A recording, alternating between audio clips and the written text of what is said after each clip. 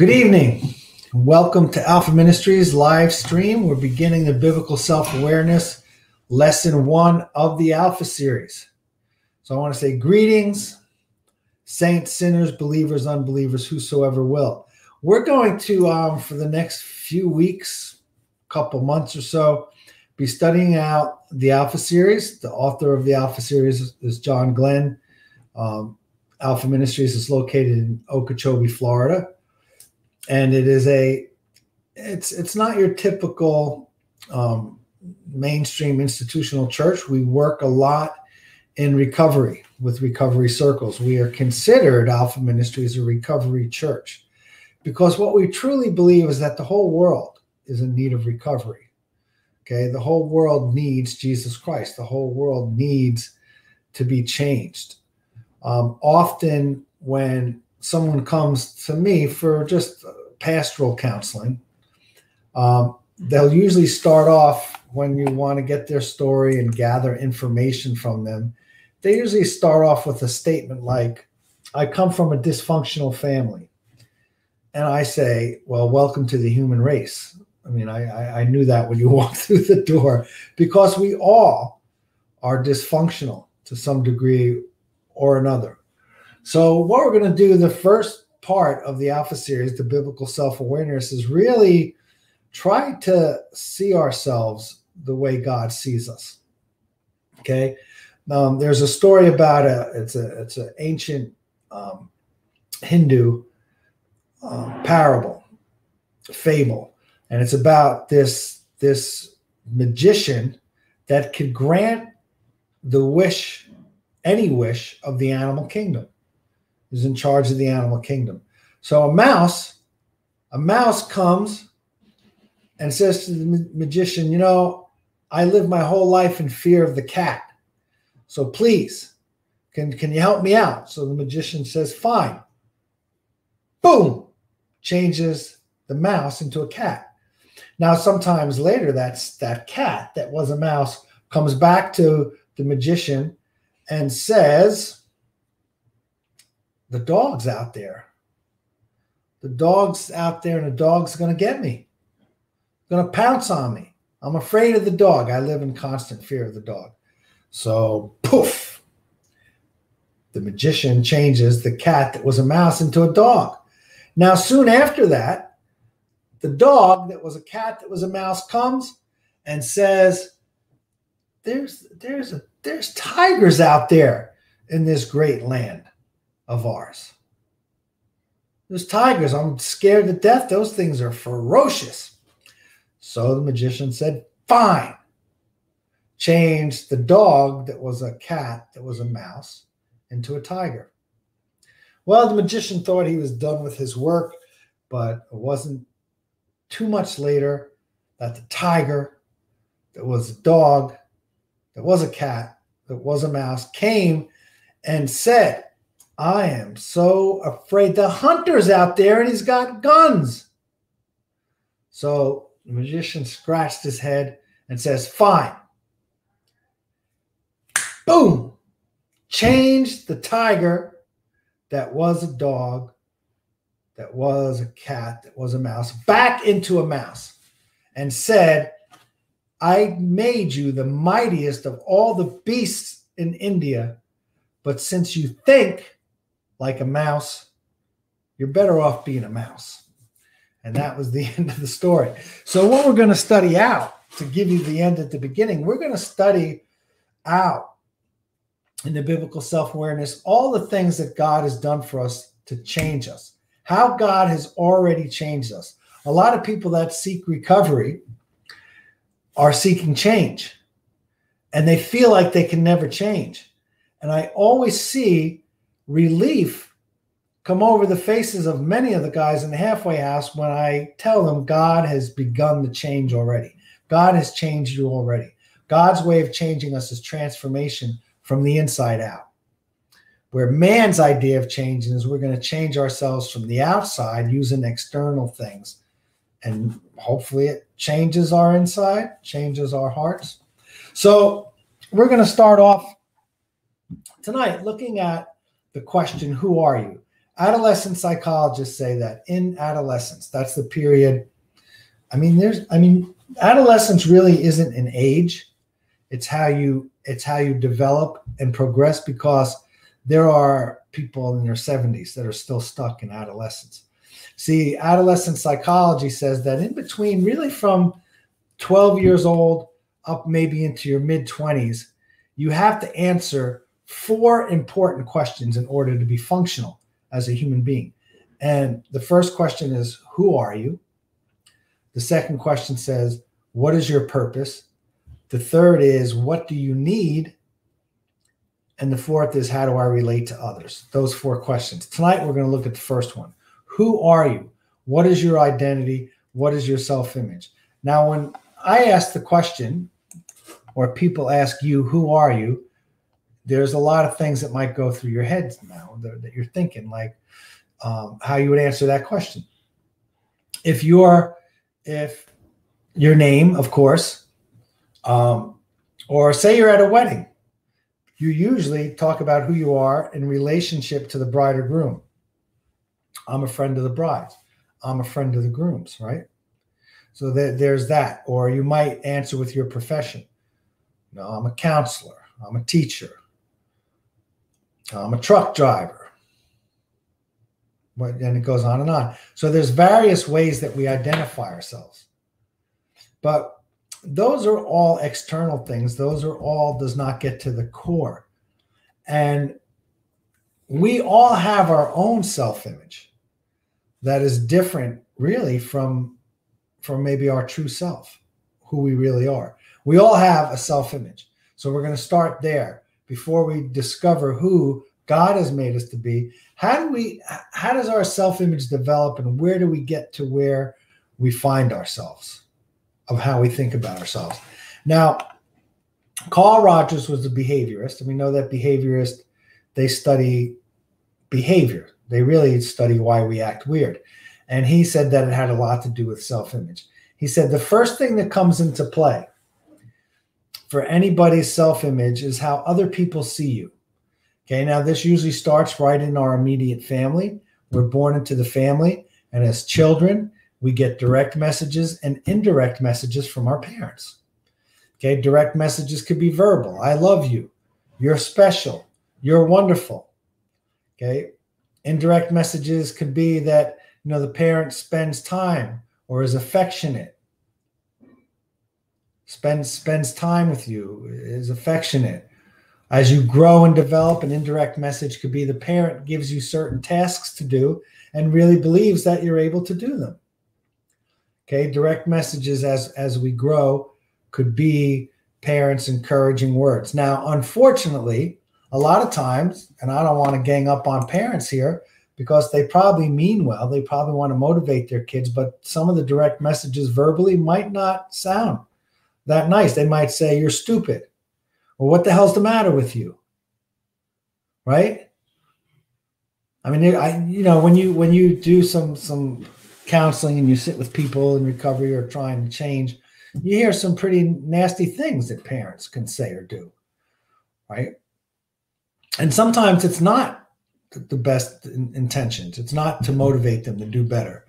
You know, like, you know, my dad, he'd say things like, you know, get your head out of your ass or something like that. You know what I'm saying? To, to motivate me, get going, get moving. Right. Now, those those direct messages, unfortunately, hurting people hurt people. There's hurting people and they say things that hurt. And then people begin to develop a very negative self-image. Now, because of our inheritance in Adam, right? Because of the fall, we're naturally afraid of God, and our tendency is to, to run from God. And our tendency is always to think when we think in terms of God that we're not good enough. That's just that's just that's that's the inheritance that we have from a sin cursed world living in sin cursed bodies. Now, think about that direct messages and indirect messages. You know, growing up, um, it was discovered later in my life. We all figured it out, my parents and everybody else. Um, is that I, I I broke a lot of my toys. I broke a lot of things, And one of the reasons is I, I was coming up in the age of electronics and there was all these new things. I wanted to see how they work. So I wound up breaking them. And I got the nickname Fat Fingers. They call it Fat Fingers, breaking things again. And then my mom, I heard her say in front of my aunts and uncles a few times in, in adult talk. I, I know I heard it at least twice. Ah, Billy, he's not mechanically inclined. He's he's he's clumsy. He can't, you know, he can't, he's not good with his hands, can't do things. So naturally, I never tried to do anything. Right. But as I grew older and I took some courses and found out about all this stuff, I realized that if I took my time and I really thought things out, I could fix things. I we are the motor of our washing machine went last month, and I fixed it. I replaced the motor. Okay? Because I, I thought about it. I used to have to read things. Now you go on YouTube and they'll they'll show you, you know. And the good thing about our technology now is they like the LED displays for all the dishwashers and things. They give you an error code. They tell you what's wrong with it. So anyway, I digress. So now, an indirect message, and and my mom, we, we talk about this, so I'm not. We we laugh about it now. Is that my mom used to give? She would tell me to do something, and I was a slowpoke, and my mom's very efficient. And then she'd go, "Put get out of the way, get out of the way. You're not doing it right. Get out of the way. Let me do it." So that was an indirect message that I, you know, that I can't can't do things. So anything tactile or kinesthetic growing up, I always shied away from it. You know, maybe that's why I, you know, got into singing and music and books and English. I'm an English teacher, right? But anyway, so these this is the way that we develop a self-image. So you have how others see you in your immediate family, but then you grow up in the culture, right? Whatever culture you grow up in. Okay, I grew up in a culture where boys, you know, boys and men did not cry. You know, so if you felt like crying, you thought, man, something's wrong with me. I'm a sissy. I'm this, you know. So it's not only it's not only the nuclear family, then it's your culture, and then when you get into you know into middle school, which is friggin' purgatory, you get into middle school, you know, the messages start getting louder, right? And and in our in our culture, we usually equate beauty, especially for females, with youth and weight, right? You know, I have a friend like he'll tell his wife, he'll say to his wife, Oh, honey, you're beautiful. And she'll say, Oh, I gained weight and this and that. And he'll say, I didn't say you were skinny. I said you were beautiful, right? Or, Oh, I got wrinkles. I'm getting gray hair. I didn't say you were young. I said you were beautiful. See, that's so in our culture, we have all these bombardments right? To tell us how other people see us, right? Will give us messages about ourselves. Now, with that, so and then you have your natural, you have your natural inheritance from Adam. You have messages that you get your whole life from your culture. And then that begins to play on how you see yourself. So you're already born with a negative view of God and fear of God. And um, you know, Richard Rohr says that if we have the right view of God, we'll have the right correct correct view of ourselves, right? And they usually take care of each other. So if we can really understand who God is and and who He's made us to be and how He looks upon us, it would probably solve the whole self-image problem. But notice now that we have how others see us and how we see ourselves. Okay. Now, as a one of the key verses that we use in the beginning of here in the biblical self-awareness is as a man sees himself, so is he. Meaning how you think about yourself is going to determine how you act. And I told you, like when when anything like when I when I started driving, and like if I needed windshield wiper fluid, like anything mechanical, I totally shied away from. And it wasn't because I couldn't do it, it was because I thought I couldn't. I had a bad self image. I'm clumsy. I break things. I, I better not get involved. So those two things began to play off of each other. Now, if we were left to just how others see us and how we see ourselves, we're really at the mercy of our own stinking thinking or what others say about us. So we're either going to have to get other people to like us and say nice things about us, which could be exhausting trying to keep up with that to make sure no one says anything negative about us. And we have to try to really understand what's wrong with us. The what why do we think and believe the things we do about ourselves? But there's a third thing here. See, we're not left just to, to, to how others see us and how we see ourselves.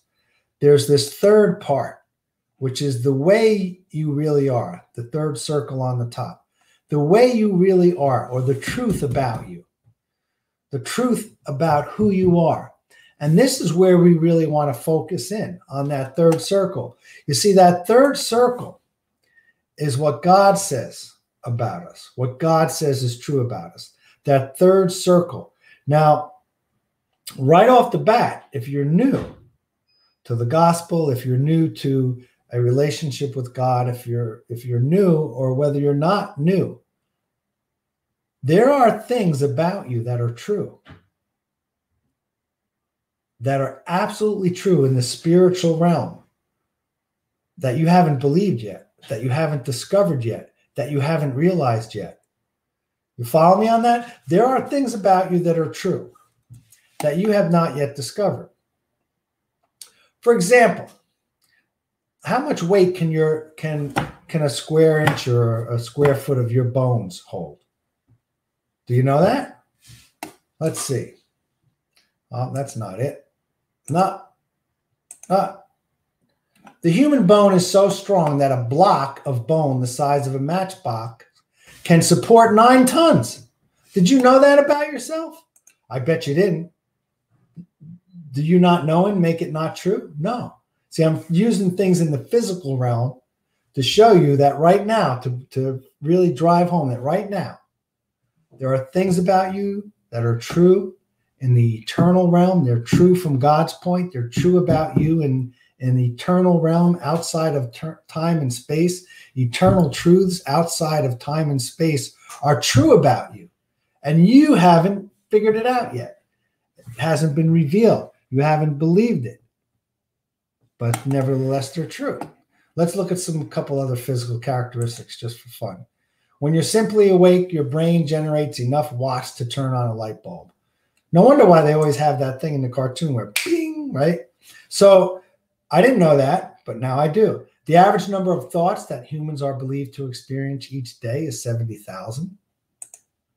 Our lungs inhale over 2 million liters of air every day without even thinking. So all these things are true. You didn't know them, but they're true nonetheless. That's the point I'm driving home. 75 to 100 trillion cells in the human body.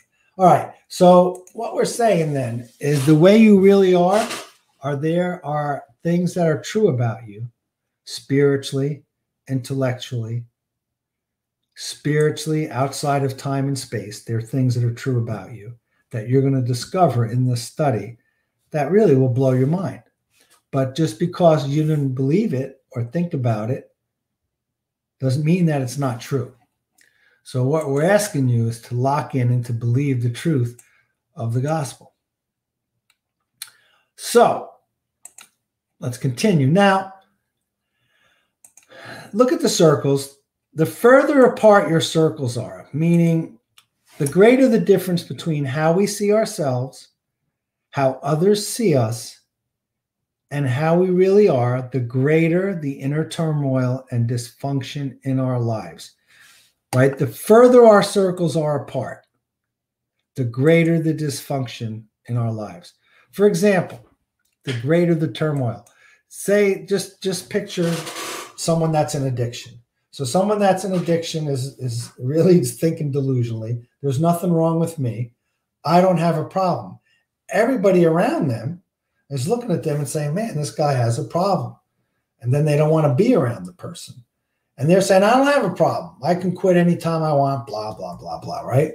So that creates a lot of turmoil, a lot of dysfunction because deep down, too, they're trying to, to, to hide, they're trying to fool, they're trying to live a lie, and that gets exhausting. So the greater the greater the difference.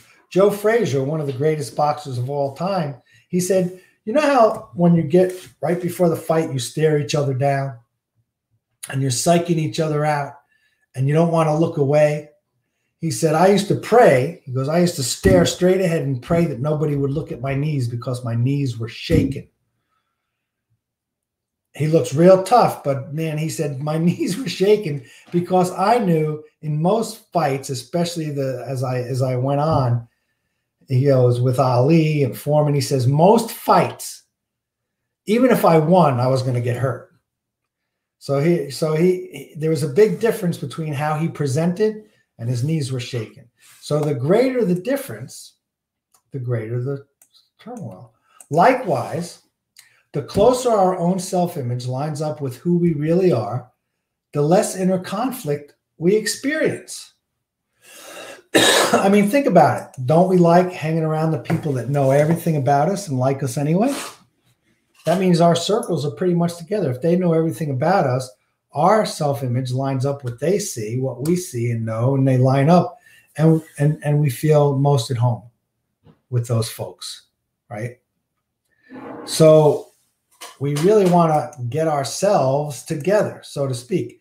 Now, Chuck Swindoll said that in its earliest form, the word peace meant to bind closely together and came to include the whole idea of being bound so closely together with someone or something that harmony resulted. Okay. Now, what we really want to study out in the next few weeks is really how God has bound us so closely to himself that we can have this great, great inner peace and joy and inner harmony and that we can learn to be authentic and learn to live honestly with people instead of running and hiding. Okay.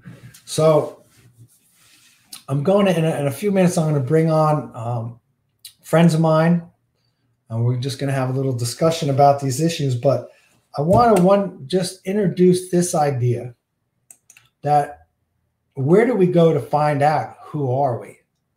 because there's so many other things that define us and that we can use to define us. Where do we go? Okay.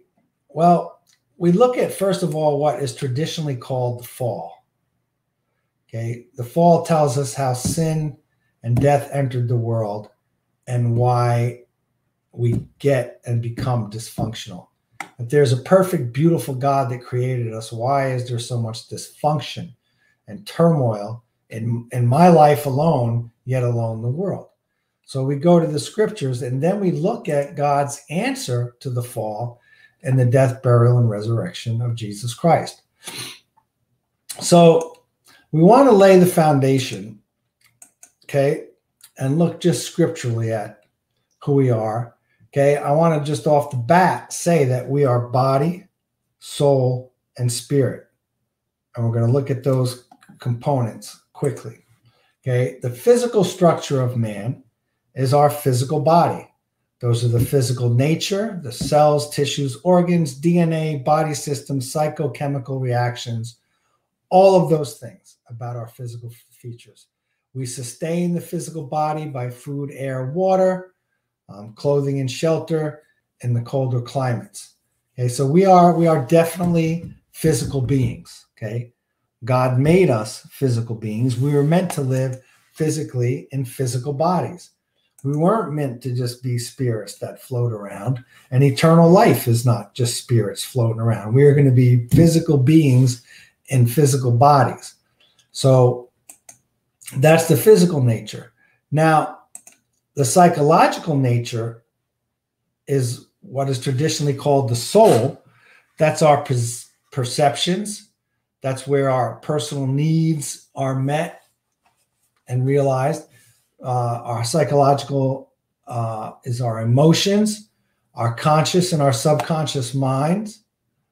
Okay, the soul, the soul structure of man is mind, emotions, and will. Where originally God wanted to teach our minds, control our emotions, and direct our wills. Okay, so that is the, the soul. And then there's the spiritual part of man, where God breathed into his nostrils the breath of life. And our spiritual nature is our creativity, our moral consciousness, our abstract thinking, our ability to communicate. That's the spiritual component of man. I'm going through this quickly because we're gonna we're gonna come back to it and spend a lot of time. Now, some people believe that the soul is really the interaction between the body and the spirit, and that we are really just body and spirit, and this soul part in the middle is is really a result of the interaction of those two things. It, uh, to me, it doesn't matter. We, we, we're body, soul, and spirit. Now, looking at the account in the garden, I would rec- I would recommend the book. There's a book by Peter Hiett, and it's called um, Peter Hiett wrote a book. It's called Time, Space, and the Creation of You, and it really talks about the opening chapters of Genesis in a, in a light that really opens up your eyes to the fact that um, we can't put God in a box with with anything, and the fact that He's created the universe, right? And he created that huge 156 million billion light years, whatever it is, universe. And he created the littlest individual cell and the DNA. Um, it's amazing. And it's amazing when you look at the, the creation account through everything that we've discovered in the last, you know, in the space age, in the last hundred years or so. Um, it really is amazing what's what's out there and and what God is capable of. Now, God. All right. Well, let's back up. So, God, the, the scriptures teach that First of all, in Colossians, it says, Nothing was made without Jesus Christ. Nothing was made without God that's been made. You know, he's the creator of all things. Nothing was that that has been made was made without God. So God created the heavens and the earth. And one of the things that Peter Hiett points out is that we usually look at this like he created the heavens and the earth all at one time. But we don't know that. He created the heavens, the universe, and the earth is part of that. So like the the Big Bang theory, which has pretty much been proven, and here's the thing all the cosmologists, everyone, everybody that studies the origins of the universe, that study cosmology, the cosmos, all of them believe in God. That's not that's not known or or publicized or talked about a lot. But back in 1994, the Hubble telescope figured they figured that they pinpointed the origin of the universe that the universe is expanding, it's continuing to expand, and they look at everything that's out there, and there's there's intelligent design. Now, when they made this discovery, in countries in countries in the UK and Europe, it was on the news for weeks, weeks and weeks. I didn't read about it till about 20 years later.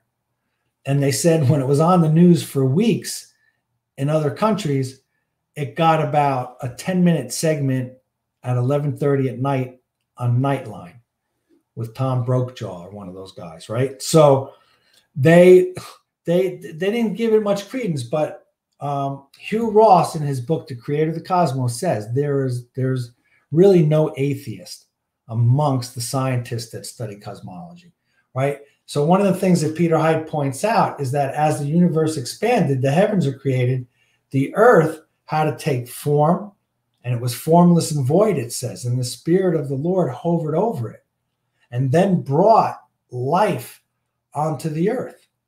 And there's nothing about it that says that they're one sequential day. He didn't create the sun, which we measure one day by, until what? The third or fourth day.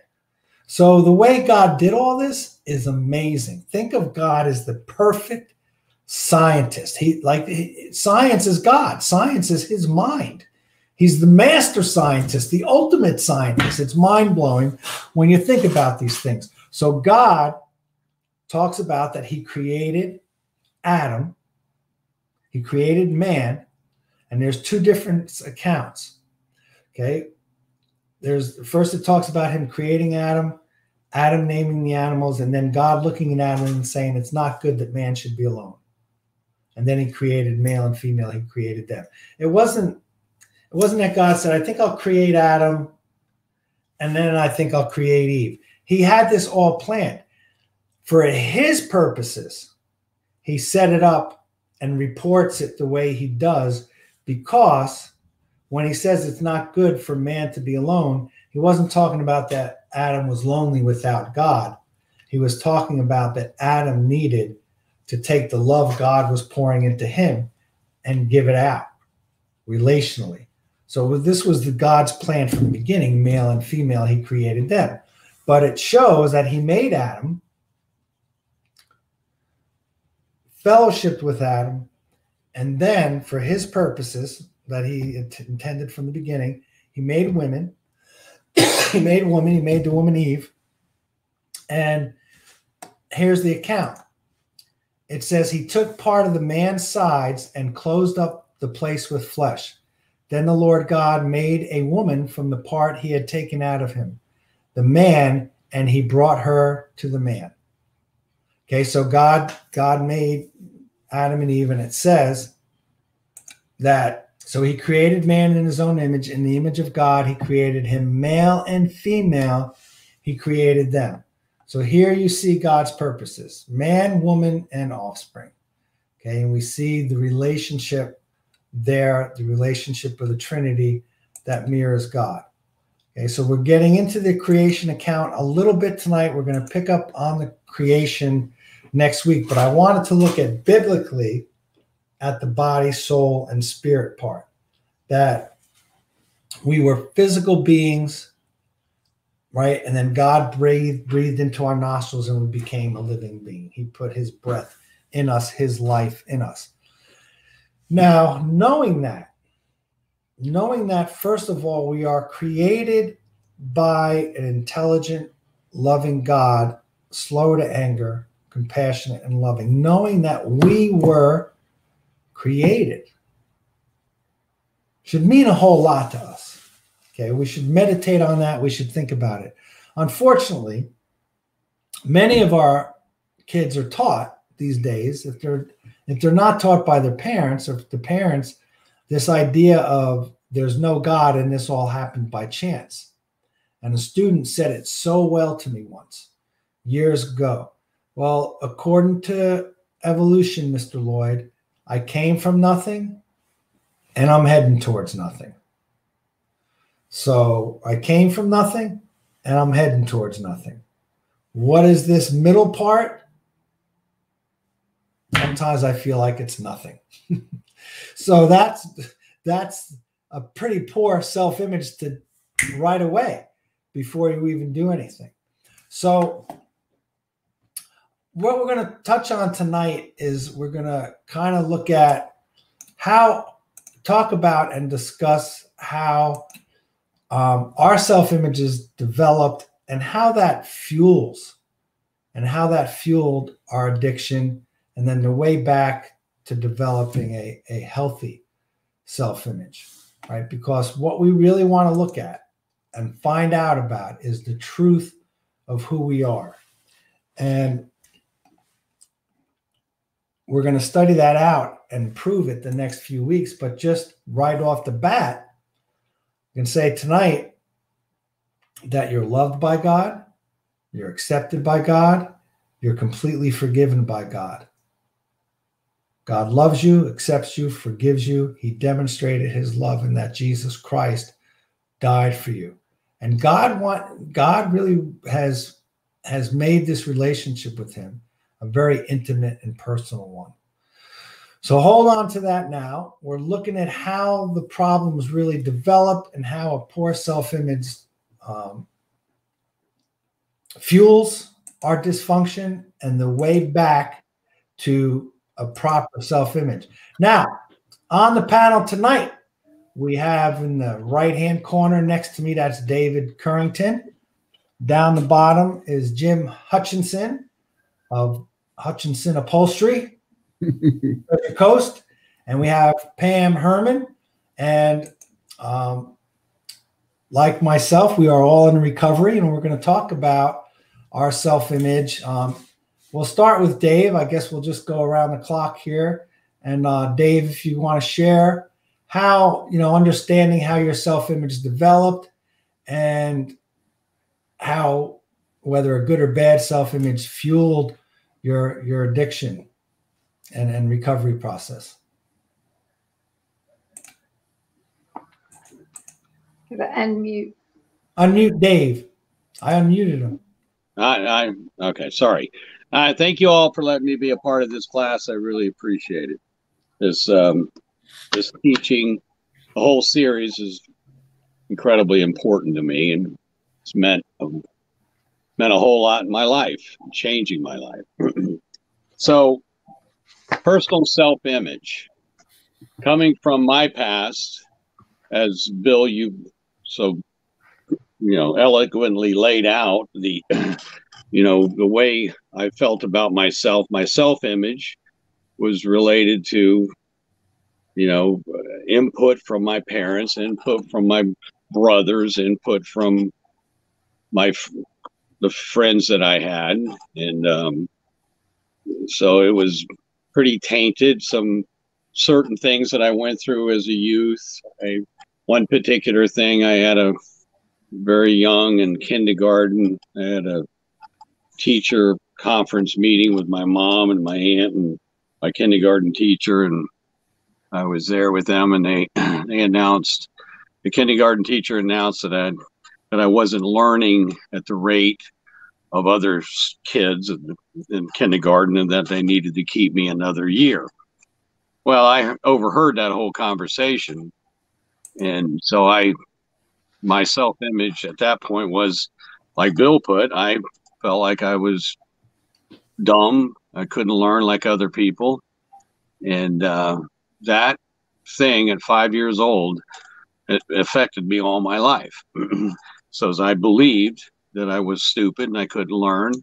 And so that affected me through school, my whole time through school. And, and when I, the career I ended up with in, in was working with my hands because I never believed I had the ability to do anything other than that.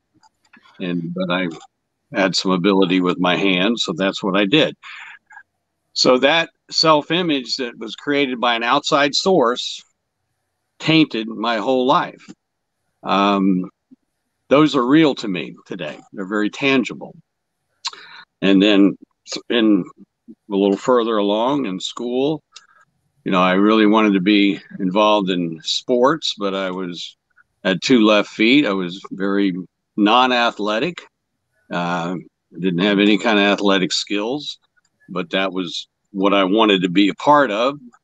But I couldn't be a part of it because I was looked on as, you know, the least one to be asked to be a part of a, a football, team, you know, a little football game. I was the last one called because I didn't have any talent. So that self image was that I was not able to play sports. I was no good at that. So I had a very poor self image. I was in reference to that. So I always classify myself as I had no identity. I mm-hmm. had nowhere I fit in. I didn't fit in academically. I didn't fit in in the sports. I didn't have any desire or interest in music anything like that. So I had a very, very, very poor self image. And other people and their image of me was kind of match my image in, in reference to some of that. So those things affected me severely. And, you know, and then starting to learn about this alpha series and this particular this particular teaching, which is the beginning, opened my eyes to the fact that you know that those two aspects of how I see myself and how other people is how what motivated everything I did in life. I wanted to do whatever I was doing, working with my hands to get your approval, to say to me that yeah, you you do you do nice work with your hands and work, woodworking and what have you. So those became very important. It's what drove me an inability to react and interact with people because of very very low self-esteem and low low identity you know i on a physical aspect, Bill brought up physical, the physical component of our of the aspect of body, soul, and spirit. I have a body that started off the body I was given. Uh, this is what I say about my disease of alcoholism is I had alcoholism before I ever picked up the first drink. But when I picked up a drink, it lowered those negative self-talk about how I saw myself, how other people saw me, and it gave me the ability to enter into things and took away those fears and those anxieties and stuff where alcohol became my best friend because it relieved that and I could interact with people. And I felt like I had some kind of you know it's a false worth and a false identity but it was but the alcohol gave me that.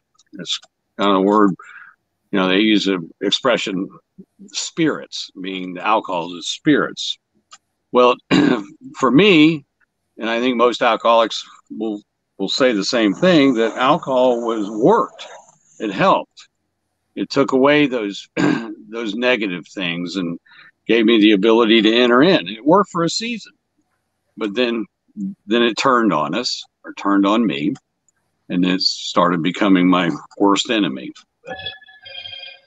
so I'll kind of leave it there. Just the how other people think of me, how I think of myself, is a driving force that content that I believe is in every walking human being in the face of this earth, and the uh, the identity that we're about to learn about in these classes will radically change that. And that, and Bill touched on this a little bit. When that identity starts being revealed to us of who God has made us to be, there is a peace that passes all understanding. That's that your that anxiety and that and that um, self talk and stuff starts dying out because you you start realizing that you are somebody, that you are loved, you're accepted, you have meaning and purpose. So I'm gonna stop there. Thank you. Yeah, you hit on it. You hit on it pretty good. You said that you you basically had had no identity, didn't know where you fit in, and then eventually we'll, we'll fall into the performance trap. I held back on a couple of things this week because next week we're going to address needs and need your personal needs and your identity are two sides of the same coin and because um, as i was listening to david talk uh, you know that just more and more i see that our worth our identity are, are just two sides of the same coin so when we go and start talking about needs next week, we're not jumping onto another subject. We're talking about the same the same thing. Um, I'm going to bring Pam on. Good evening, Pam. Good evening. Am I unmuted? Yes, you are. Oh, yay.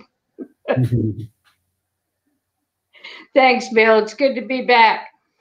Um, as you were talking this evening, I'm going to play a little different role in this, just I guess as a, a point of interest.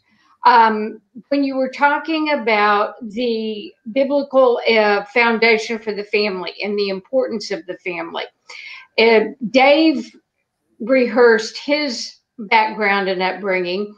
Mine I was a little different. And I bring this up just to show that it doesn't really make a lot of difference.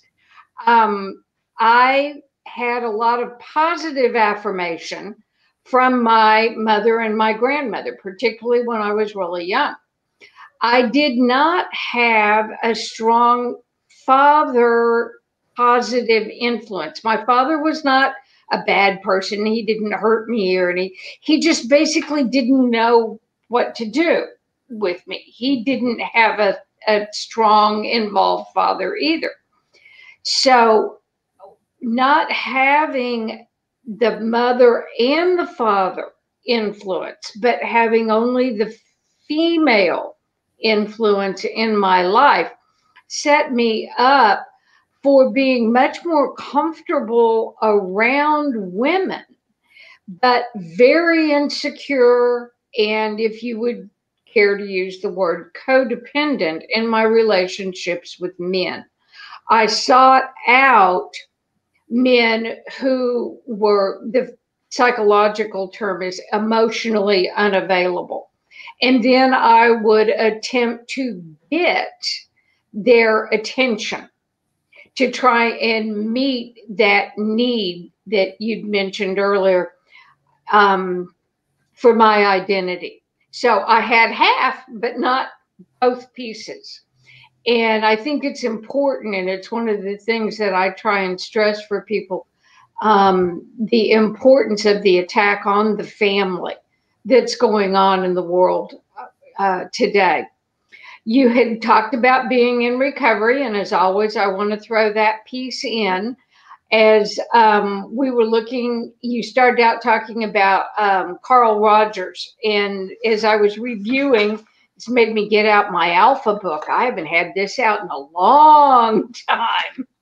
Um, as I was looking at this, the first thing that jumped out at me was exactly what you started with, and that was the uh, paragraphs about um, Carl Rogers and the the images and the set the quote, and you had it put up there that said, likewise, the closer our self image lines up with who we really are and ultimately how others see us, the less inner conflict and healthier we become.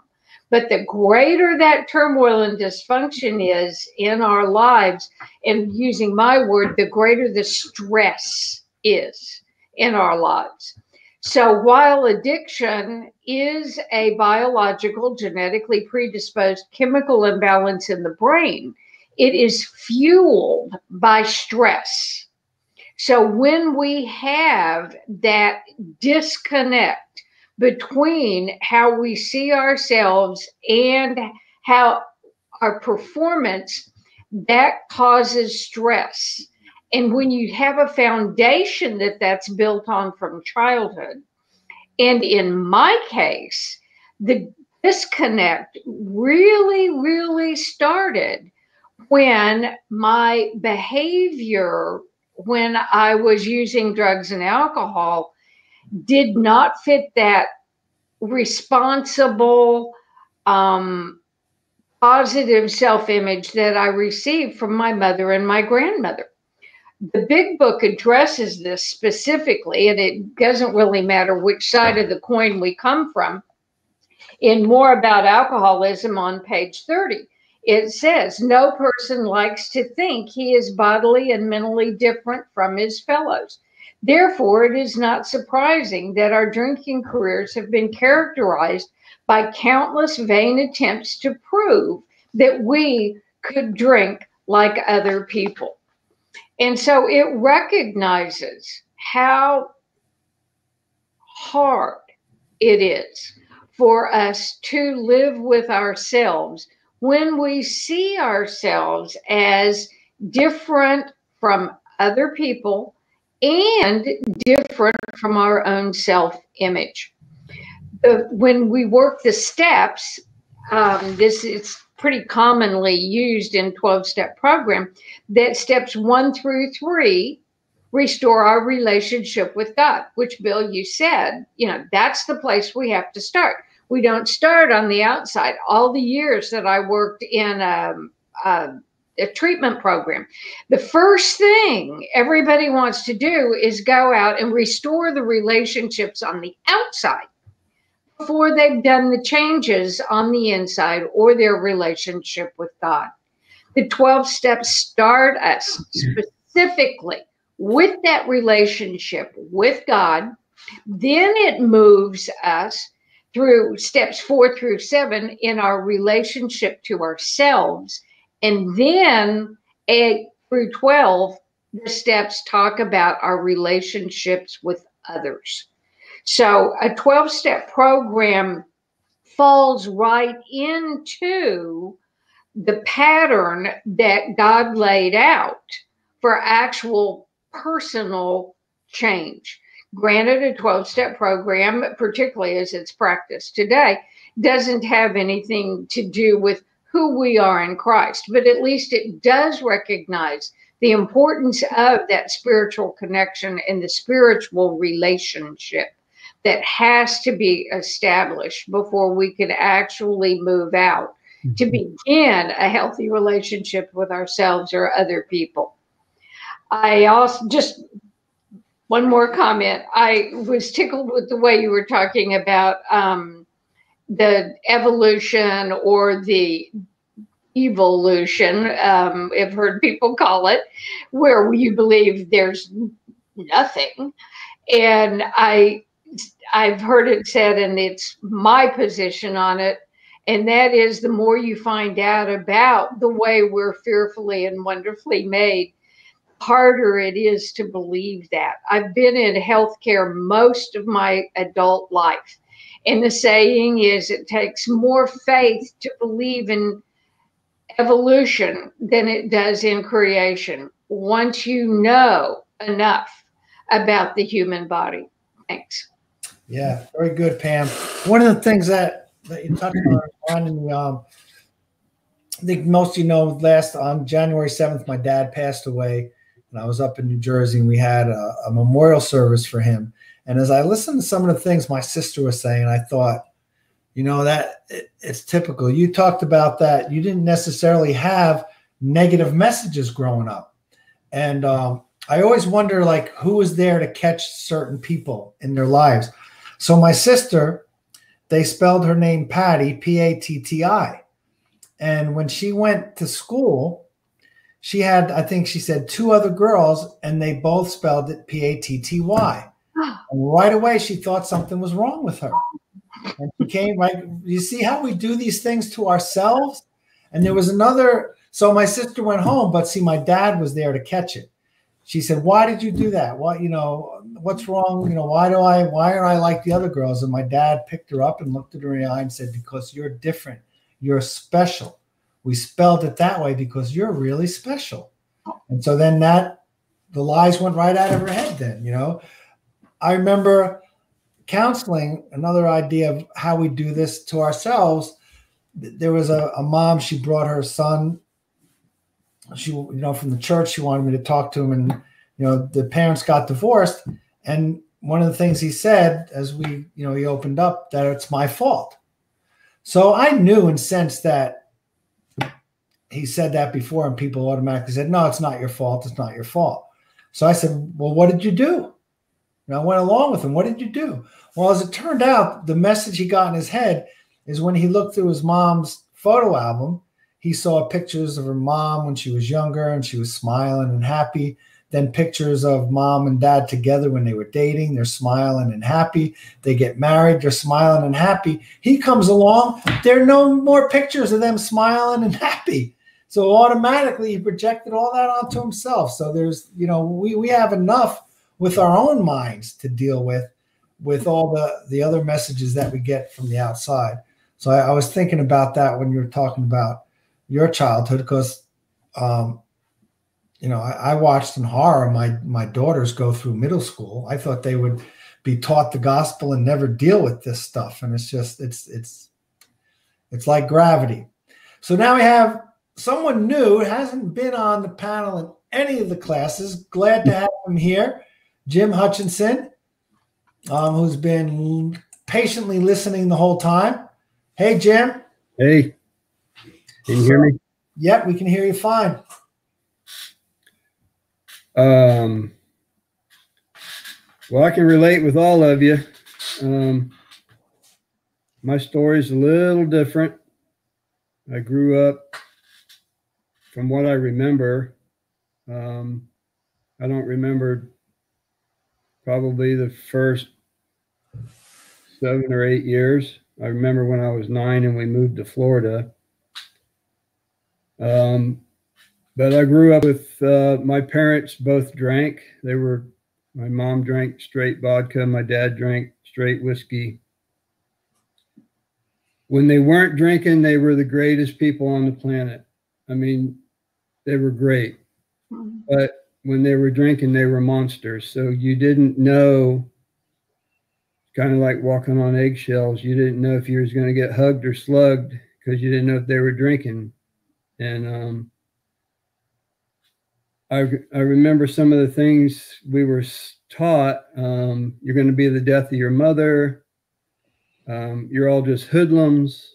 Um, you're never going to amount to nothing. You're going to die in prison like your dad's dad. Um,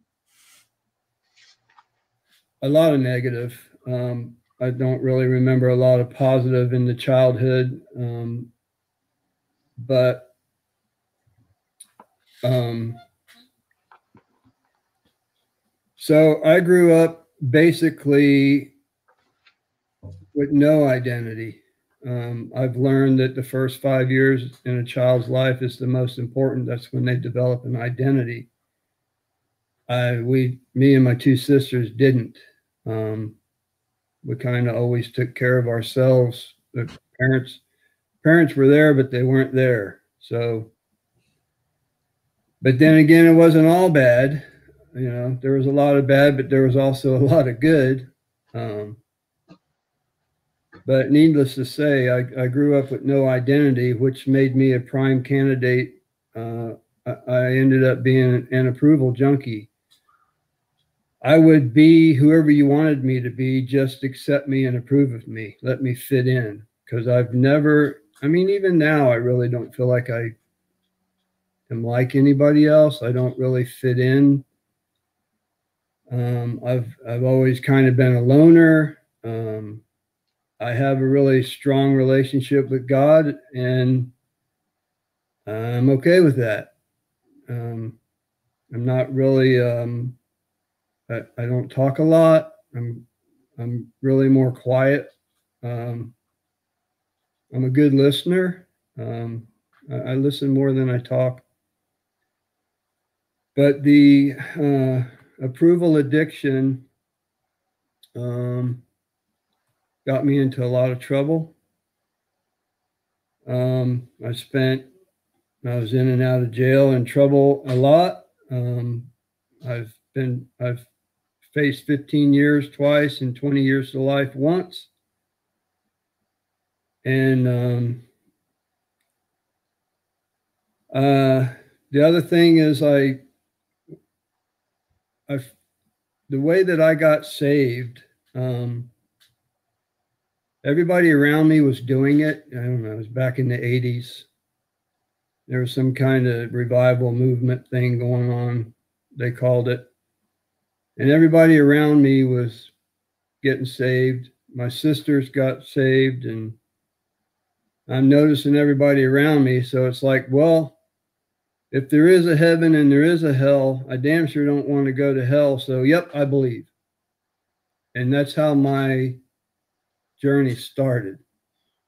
God actually took that then, and He's been working on me ever since. But what's happened is I'm I've been abused by authority figures. Um, I grew up not trusting anybody. Um, and um, it wasn't until a few years back um, actually, it was John Glenn that brought it to my attention. I I wasn't even trusting God. I thought I was, but I really wasn't. Because of my father son relationship on earth, I took that to my heavenly father and son relationship. So sooner or later, he's going to turn on me. So you really can't trust him but I wanted to. I had a desire. And then I also had a desire to change. I was getting in trouble. It wasn't fun anymore. You know, it, it started off fun and it ended up misery. And um, I had a willingness to change, but I didn't know how to make that happen. I went to a few churches. Um, and I became like religious. And it was all about performance and and you know my dad taught me that uh, my dad was a perfectionist so he taught me whatever you do do it the very best you can So I've always lived under that law system. And, you know, I have, you know, I am, I'm a perfectionist. What I do, the everything that I do, I do the very best I can still. Um, I'm finding the balance in it. Um, but the perfectionism, um, it kind of fueled uh, I, it kind of makes it worse because uh, when it comes to trying to believe in God, I'm going to perfect the Christian walk or I'm going to try to behave myself perfectly to be accepted and approved. Well, we all know that that doesn't work, and I ended up crashing and burning. Um, it wasn't, it was uh, 1990. God put John Glenn in Alpha Ministries. I heard the Alpha series for the first time. And I knew right then it was the truth. So I started pursuing it. Um, it's been a long, hard journey for me.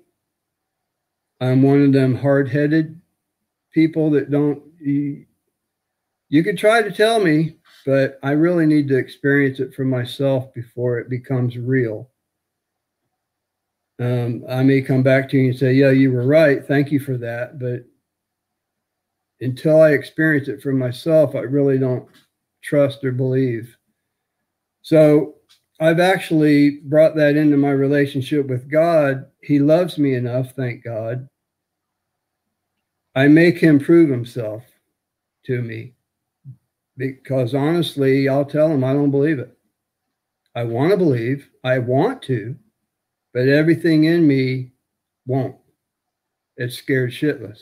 So thank God that he shows up in my life. He's I've prayed for eyes to see and ears to hear and you know mind to perceive and heart to receive. So it's the eyes to see and ears to hear. That right there, um, and I, have been I've been praying. Um, you know, I learned that God is love. So I associate pain with love. So I kind of I, I, let it in so far, but then that's it because it's too risky. Um, so I've actually been running from love. Well, really, I'm running from God because God is love. So um, I want to know Him I want him to to reveal himself to me to where it's beyond a shadow of a doubt. Um, I want to know the love of God that passes knowledge because up here, you think you got it. And it's, you know, until you experience it, it it's just hearsay. You just read it or you heard somebody say it. So, um, God's been showing up in my life. Um, six years ago, um, you know, I ended up getting this house. That, um, everything that I've ever tried to do failed. Um, anything that we, my wife and I invested money in, we lost. So, you know, it wasn't looking good. so we lost our house in Okeechobee. It foreclosed because we bought when the market was high back in 05, 7, whenever it was. And so my chances with that was all the money we had and we lost it.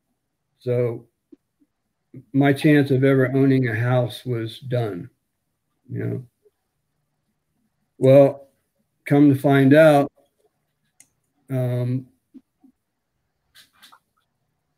40 years later, I find out I still have my VA loan. I never used it. Well, I lost it. And the gunny told me when he handed it to me, he looked me in the eye and he said, don't lose it because if you lose it, well, I lost it.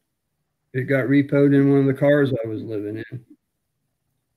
So I thought it was gone forever. Anyway, long story short, I still had my VA loan, which the government guarantees down payment, whatever. So that's how, okay, it was 40 years later. God showed up. Okay, I'm talking to the guy on the phone. He takes my name and my social. Oh, yeah, I got you right here. I go, You do? He goes, Yeah you qualify for the max. I go, the max, what's that? 417,000. Of course, your income has to, you, you got to be able to, you, your income's got to support that. But that's what the government, because I, I earned it. Okay. Anyway, I thought it was gone. Anyway, I, I get off the phone. I start crying because I just can't believe it. And I heard the Lord say to me, you didn't see that coming, did you? I'll never forget. But that was the beginning of God. That's six years ago, answering my prayer. He's showing up in my life and he's revealing himself. He's opening my eyes to see him and my ears to hear. And that's really what's changing my life. Absolutely. So it's nice to listen to other like-minded because you don't uh, you go out in the world you're not hearing it or you watch the news you're not hearing it you know Yeah. so yeah. i work by myself most of the time um i kind of have i'm like i'm like um the silent witness or something it's god puts people i'm telling you he just puts people in my path. I, I like it because when I'm telling, sharing my testimony or I'm sharing the gospel with somebody else, I get to hear it for myself again. Yeah, yeah. Well, I was taught that the teachers are the most screwed up. We need to hear it the most. That's why we're teaching it so we can hear it all the time. Well, that's me. Yeah. Yeah. Anyway, I'll quit. That yeah, that's why I think God has me teaching it, so I don't forget it. Absolutely. Um, you tied in, you know, one of the things that I, I saw clearly that we all touched on is that when you said that, you know, you were running from God, you were running from love. When your image of God changed at the same time that your own self-image began to change. And that's one of the things that we're gonna it's gonna feed off one another. The series. Um, I'm starting to find out who he's created me to be, and I like that person. yeah, I'm to like who I am, and that's everything is changing now. yeah, So, yeah, yeah. Good. I just want to um before we wrap it up, thank everyone for for joining in. Um, I like what Dar said here. Um, and that's almost a quote uh, from the upper room in John 13. It said Jesus knew, you know, where he came from. He knew who his father was. He knew where he was going back to God. The fact that phrase that we're going back to God, that that's very meaningful to me, um, especially at, at, this point. But um, we had a lot of good participation tonight. Thank you, Tammy, for joining in, for Wendy, Glenna, Grandma, Lester, Crystal Sims. Thank you, sweetie, for joining in. We already saw from Bar, Pam. Thank you for joining, Tucker. David, thanks for joining. Sandy, Wendy, Missy, Herman, Herman Ray Hawkins. That's that sounds. There was a uh, singer screaming Jeff Hawkins.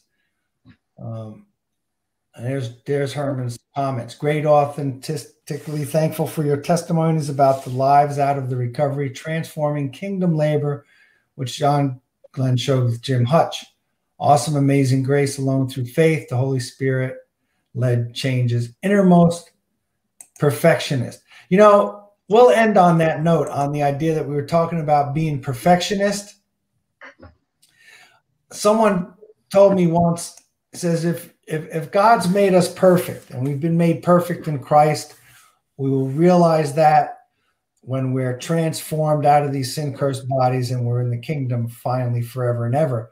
But the fact that God's made us perfect, but we're infants, we're perfect but not mature. He said, trying to be a perfectionist or make yourself perfect, he says, is like going over to the Mona Lisa and trying to touch it up with your own. The, the artist, the art experts would kill you. If you had the real Mona Lisa on the wall, and you went over there and said, huh, I'd like to change a few things. You know, it's like trying to put a mustache on a Mona Lisa if you're trying to protect yourself. And um, another insight on that, you know, someone told my wife, Carrie, you're too much, you know, with Bill, that you love him. And, you know, you know, don't, isn't there anything you don't like about him? And she said, sure, there's, there's, there's things. No, isn't there anything you would change about him? She said, Well, you got to look out for that. She said, If I change things I don't like, there might be this shift, and the things that I really like might go away too. So you never know what God's doing with us. We look at other people, think, Oh, they need to change. I need to change. It's a process. He's changing us from the inside out. So until then, until he brings about the change that you desire, remember his grace is sufficient, his power is made perfect in weakness. Nothing can separate us from the love of God in Christ Jesus. Thank you all for joining us. Be back here next Thursday at seven o'clock, and we're going to continue. We're going to look at the flip side of identity needs. Pam, you got an announcement? Not right now. Thank okay. you. All right. And uh, for the Reach people, you're on the causeway at 9 a.m. Sunday, and Alpha Ministries Church, Freedom Ranch, Church in the Woods is alive and well, rolling 11 a.m. All right. Thank you. Thank you for joining. God bless you. Good night. And see you